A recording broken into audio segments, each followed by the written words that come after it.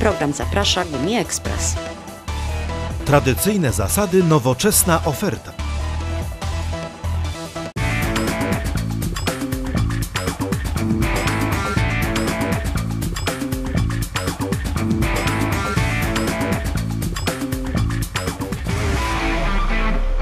No, witamy Państwa serdecznie.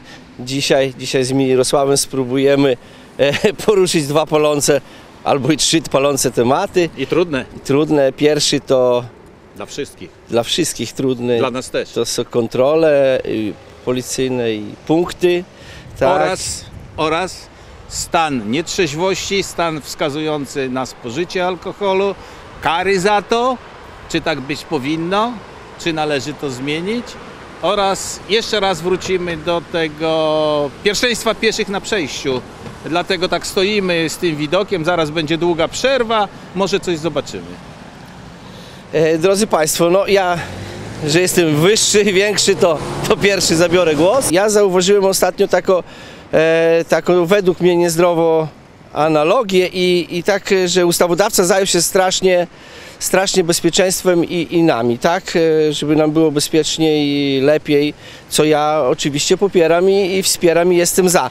Natomiast e, pewne kwestie mi się osobiście prywatnie, bo to moje zdanie w tej chwili prywatne, nie podobają, czyli, czyli tak zwane łapanki, tak? E, Łapanki funkcjonariuszy, którzy tak naprawdę działają w imieniu e, państwa polskiego. Czyli rozumiem, że ustawodawca na koniec roku przyspieszył i to jest tak szybko się odbywa, że niektórym to kierowcom może. To, zna, to znaczy, ja bym. Mirko jeszcze w szerszym kontekście o tym powiedział, bo teraz tak, mamy kryzys, nie da się ukryć, e, ten kryzys tak e, finansowy, troszeczkę gorzej się żyje, troszkę jest ciężej, nie wiadomo co będzie dalej. No i mamy taki, taki strzał, strzał w dziesiątkę podnoszący e, wymiar kar, Mandaty. mandaty, skuteczność kar.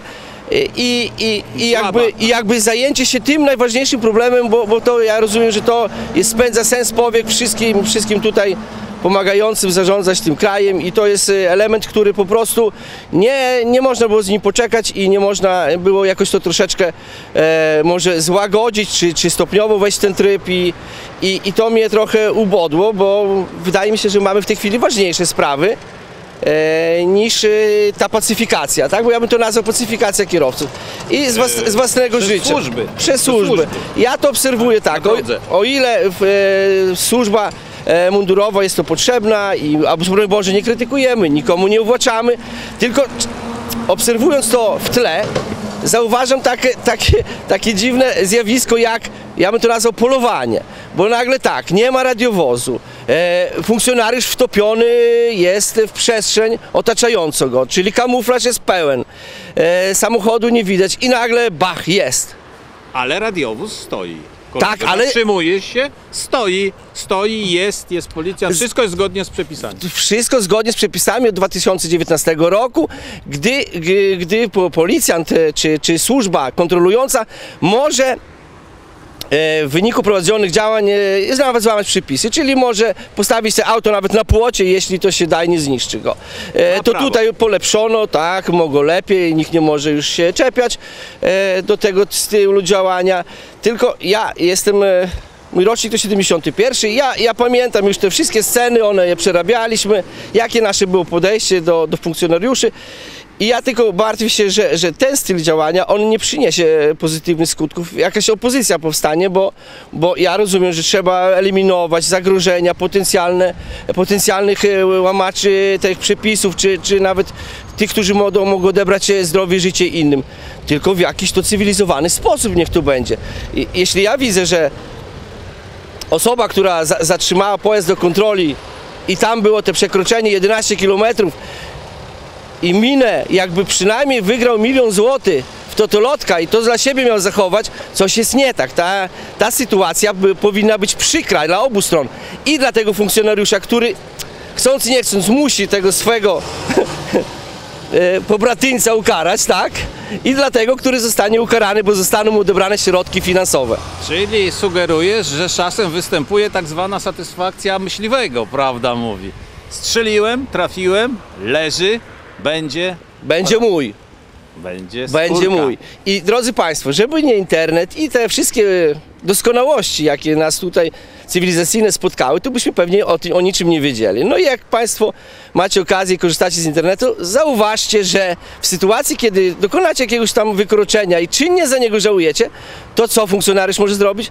Odpuścić Wam, pouczając Wam, ale zazwyczaj tak to nie działa. ale można pouczyć tego, który zrozumie, że pouczenie i te pouczenie zaskutkuje u niego. Niestety, większość społeczeństwa, jak wskazuje e, doświadczenie, nie jest, e, że tak powiem, jest usatysfakcjonowana z pouczenia, ale to wcale nie znaczy, że nie jedzie dalej szybciej. No, no wiem, że, że, że tutaj takie czytałem przed programem badanie na, te, na temat kar i podobnież dragońskie kary jedyne, jedynie skutkują, nie? Tak. No, no ja Tak. to wszystko zgadzam się i jestem za, tylko, Więzienia oczywiście. tylko, Więzienia. tylko za, za, za każdym razem zastanawiam się nad jedną rzeczą. No kurde, tylko w tym jednym obszarze, gdzie są pieniądze, no mamy tyle takich przykładów z życia, gdzie, gdzie rzeczywiście za takie rzeczy, które będziemy, nie wiem, pokutować dziesiątkami lat, co się dzieje, nikt nie jest tym zainteresowany. Yy, Weźmy na przykład analogicznie przykładowo, nie jestem abstynentem. Weźmy alkohol. Mamy poszkodowane rodziny, pobite matki, ojców, pełne szpitale z chorobami wątrób i innymi rzeczami. Zauważyliście Państwo jakieś kary dla pijących alkohol? Właśnie. Nie ma. To mój temat. Ja tak, ja wiem Mirku. I nie ma. I tam, i tam ustawodawca nie jest zajęty dra drastycznymi karami, nie łapie tych pijanych za płotami, I nie nikt- biega, nie szuka. Nie, ale tu nie gdzie w zajął. aucie to je, nie, nikt się nie. nie zajął tym, co jest przyczyną, że ci, co już naprawdę przekroczyli, jadą bez pozwolenia, trzeci raz nie trzeźwi i tak dalej. Dlaczego oni nie są w więzieniu? Nikt się nie, nikt nie Mirku, analizuje, więzieniu? Czy, to, czy to jest na progu ten, co oskarża, czy to prokurator, czy to adwokat, czy to sędzia. Kto zawinił? Czy No- przepis? No jak, jest akcja, kampania e, nie pij, nie jedź na przykład i z pieniążków, nie wiem z jakich to pieniążków, bo pieniążki z, z mandatów trafiają chyba w Polsce jako jeden z nielicznych krajów do budżetu państwa, tak? No. I, I tu ja uważam jest największe, tak, na, największe zainteresowanie jest tylko podejrzewam dlatego tym, żeby państwu było bardzo bezpiecznie. Bo weźmy teraz ko kolejną rzecz, czyli teraz mamy nowe przepisy, nowe zmiany, mamy tak e, po, podwój, jakby wydłużono czas kasacji punktów, Też. tak, e, karnych, e, których nie zmieniła się ilość, nie jest większa, jest taka sama. I, I cóż, mamy e, początek kasacji, rozpoczęcie terminu kasacji to jest od momentu opłacenia mandatu, tak? Dopiero rozpoczyna dopiero. się proces. E, nie możemy odpisywać punktów, na razie, na razie nie możemy. A kiedy utracimy prawo jazdy, a mamy na przykład e, pełen pakiet uprawnień, czyli o, począwszy od motoru do pojazdu e, a, czy autobusu, do przywozu tracimy wszystkie, tak? Doskonale tutaj por- weszłeś w temat i poruszyłeś właśnie ten problem, o to co zapowiadałeś mi, nietrzeźwości kierującego, stanu wskazującego na spożycie alkoholu i norm tych obowiązujących. Słuchaj, jest... Ale ja ci Mirku bym jeszcze przerwał. Taka sekundę, kwestia, że- dokończę ten swój... A, no już myślałem, że skończyłeś. Jeszcze, To mów jeszcze nie skończyłem. krótko. No i dobrnęliśmy do tego, do tego miejsca. No dobrze. E, nie wydaje mi się, żebyśmy, żebym ja osobiście przez 50 lat poznał e, jakiegokolwiek e, obywatela, który by, za którym bym nie pojechał i by on w przeciągu 10 minut jeździ po mieście i nie złamał jakiegoś przepisu. Czyli tak naprawdę możemy wyeliminować od pana funkcjonariusza, jego przełożonego, po mnie i pana Mirka z, w ciągu tygodnia z cyklu jazdy. Wszystkich, no, ale są też ludzie, którzy pracują zawodowo. Co, co dla nich mamy? Dla nich na razie ustawodawca niczego nie przewidział, typu pogadanki, posłuchanki i odpisania kilku punktów. Jest taki pomysł.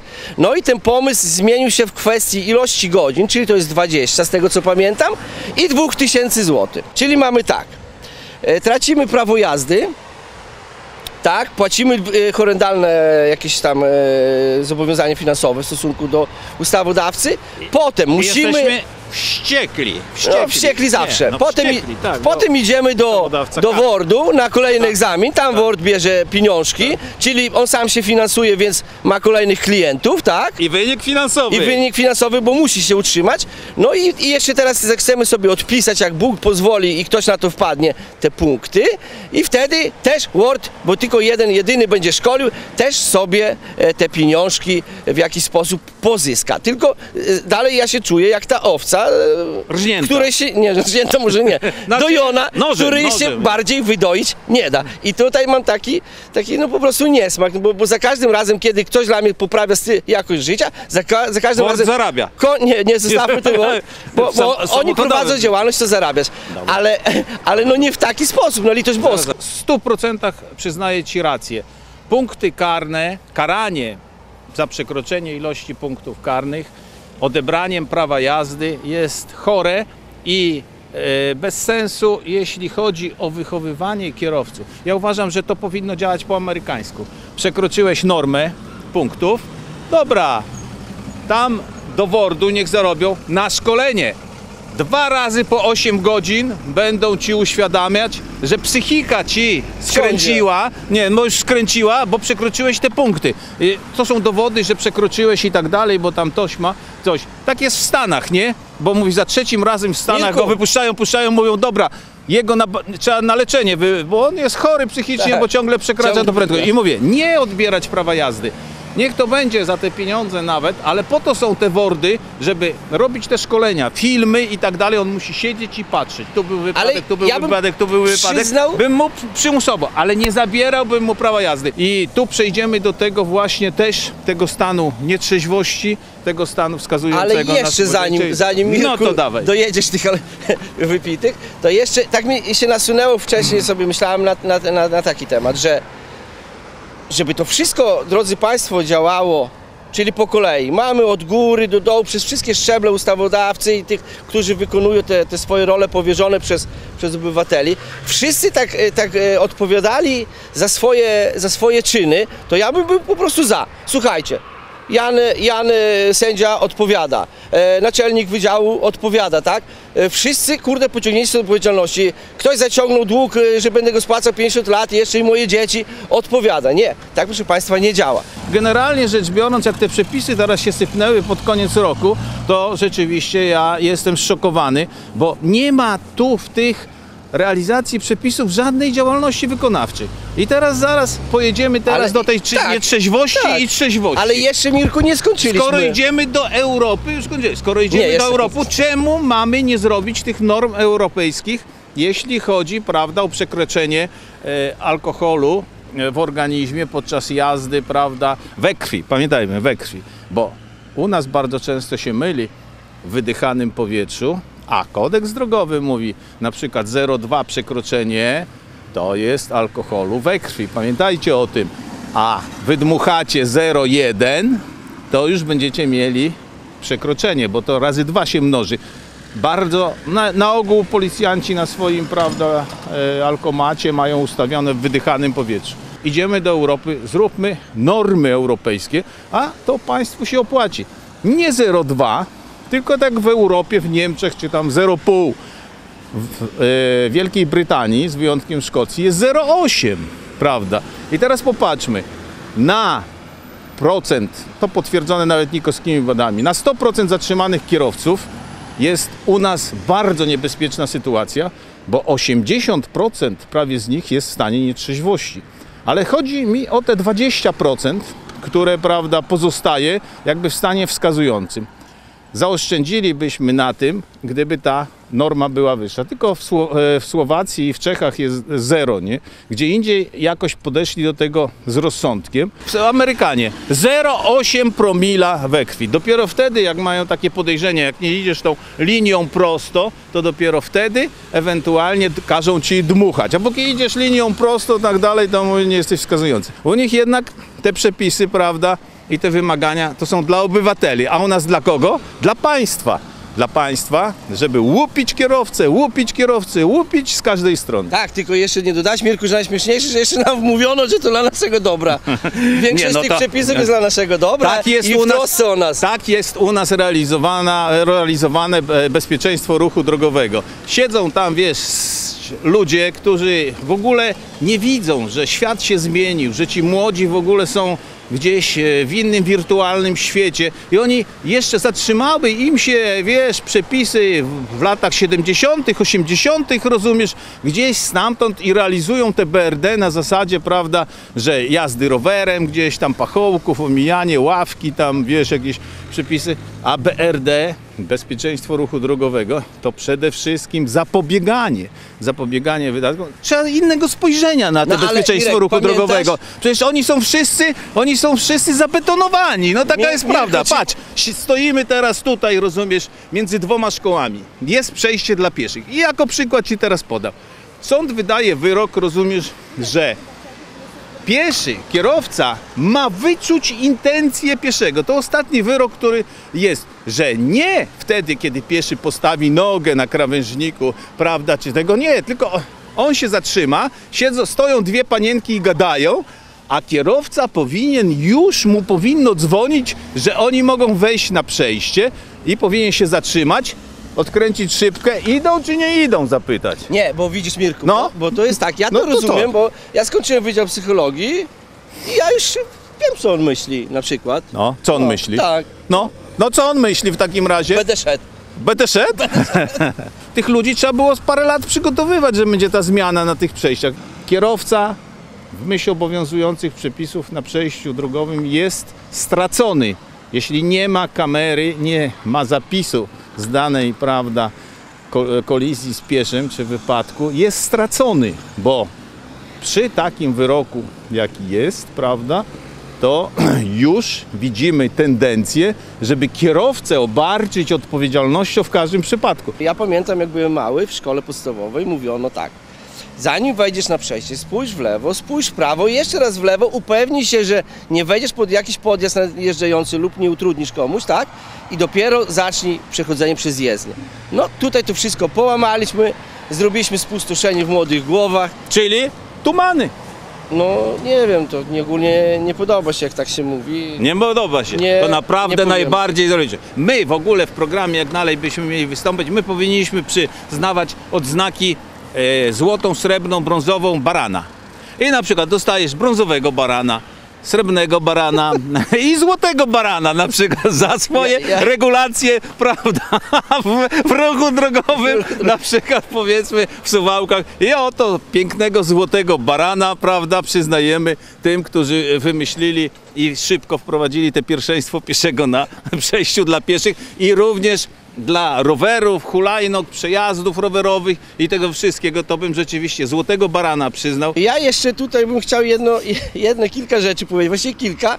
Tutaj, tutaj nasz operator już pokazuje na zegarek, Tak. ale nie ma wyjścia. E, Wypije potem sobie herbatę rozgrzewającą i się opanuje. Chodzi, takie miałem, takie, słuchajcie, drodzy Państwo, miałem przemyślenie z racji wykonywanego zawodu. No i y, taka analogiczna sytuacja. Podam Wam, bo przy, przyszła właśnie mi teraz do głowy. Przyjeżdża posiadacz e, Volkswagena Passata 1.9 TDI i z typowym objawem przy 120 odcina moc i wchodzi w tryb awaryjny. No i teraz tak, powiedzcie mi drodzy Państwo, wytłumacz Mirku, gdzie ja mam zrobić jazdę testową? No wiem, że zaraz jakiś mądrala powie, kup se hamownię. No to ty se kup y, rozum, tak? No i ja już teraz tu pytam, tak żartobliwie takiego użytkownika, a gdzie ty chcesz człowiecze jechać, te 120? No właśnie. Bo ja nie mam pomysłu, gdzie No ty właśnie. pojedziesz. Jeśli bym W chciał, to naszej okolicy. wszystkie punkty, jakie miałem utracone wcześniej, wszystkie były utracone na, a, za prędkość i e, się przyznam, wstyd mi, ale na jazdach testowych. I, I różne widziałem metody chowania się, e, ja to nazywam przeciwnika wroga, aczkolwiek e, jestem bez szans, tak, ale i bez szans, e, żeby to w właściwy sposób naprawić. Czyli ja nie żądam jakichś szczególnych przepisów, bo ja nie jestem nikim wyjątkowym, tylko że taka kolejna myśl nasuwa, po co te samochody dopuszczać o 3-litrowe, 2-litrowe, 5-litrowe, z mocą 200, 300, tylko po co, jak to nikt nie korzysta? Chcesz testować? Budujmy, już w którym programie mówiliśmy. Tor. Budujmy tor wyścigowy. Dla ludzi i nie tylko w Gdzieś Suwałkach, pobliżu w całej lotniska, Polsce. Ale w całej Polsce też, ale tu w Suwałkach, gdzie można by było to przetestować przy tej szybkości. No to- Mirku, to. urwałeś e, w najmniejszym zwykle, momencie. jak zwykle. Ale nie, no, ta, zadaj ci pytanie, dla człowiek jesteś rozumny. Po co te auta o dużych pojemnościach i dużej mocy? Komu one są w Polsce do czegokolwiek potrzebne? A znasz takie pojęcie jak szpan? Nie, jest on też nie Pan, może. Przecież słuchaj. doda gazu i traci prawko. Jedziesz, masz Mustanga 5-litrowego, no, No- to no nie, ci, no. którzy znają się trochę na samochodach, no to mówią, Dro- gość jest, Nie, to jest gość, 5 litrów, Przepra- no, n- słuchaj, Przepraszam. gasić, rozumiesz, przed przejściem dla pieszych. Drogi Mirku, bo nie jesteś w temacie. On, on spala tyle, rozumiesz, że, że to perpetuum nobile, Mirosław- jest tutaj pali. Drodzy Państwo, Mirosław nie jest w temacie, bo że prowadzę działalność taką, jaką prowadzę, to mamy na przykład dwulitrowego Mercedesa z głośnikiem od V8. To producent tak dostarczył i mamy, mamy to chęć spełnioną, mamy V8. Tylko do którego momentu dobrniemy. No, z jednej strony nam się mówi, że, że, że, że dla nas, dla bezpieczeństwa, z drugiej strony daje się nam auta, jakby nie wiem, Boeingi i każe, i nie wiem, Dobra, każe, nisko budujmy- lata i wolno tor wyścigowy, ale powiem Ci jeszcze, do nietrzeźwych kierowców, nie? I tu apeluję, słuchajcie, Chlałeś? Nie. Eee, rzeczywiście problem narasta, nie? I wy czujecie się bezkarni, jeździcie pijani i to nie jest okej, nie? To nie jest okej i będzie trzeba was coraz bardziej karać. Eee, głupotą naszego ustawodawstwa i tych tumanów różnych, którzy tam są, jest to, Ja tego że... nie. Nie, nie, jest to, że nie rozwiązano Mam dzieci, problemu rodzinę. karania, karania tak naprawdę, czujecie się bezkarni. I mówię, proszę sobie zadać, wszyscy niech zadadzą pytanie, gdzie jest problem? Czy najpierw ten, który oskarża, czyli policjant oskarżający, potem jest prokurator, potem jest sędzia, sąd, rzeczoznawca samochodowy. Gdzie tkwi problem, że facet z trzema zakazami jazdy, pijany po półtora promila dwa razy, nie idzie siedzieć? To znaczy, że co? Wymiar sprawiedliwości nie działa. Nie ma nieuchronności kary. No i teraz e, już kończymy, obiecujemy, że już kończymy. E, no i taka wiadomość wczoraj, bo tam e, trochę, trochę śledzę, śledzę z tego obrazu, z, z ruchami. Tak. No to w 35 roku nie kupimy będzie. już spalinowego pojazdu. Tak, nie. Z motorkiem. Nie, nic. Także To e, szykujcie rzęchami się, zbierajcie pieniądze. rzęchami będziecie Zbierajcie mieli. pieniądze, bo, bo Na dobre samochody, żeby wytrzymały jeszcze i po 35. Tak. Bo wtedy nie kupicie, ale jeszcze jeździć będziecie mogli. A tutaj jak to mówią? Elektryka, prąd nie tyka. Tak. No wszystkiego to dobrego. najlepszego. Może do zobaczenia.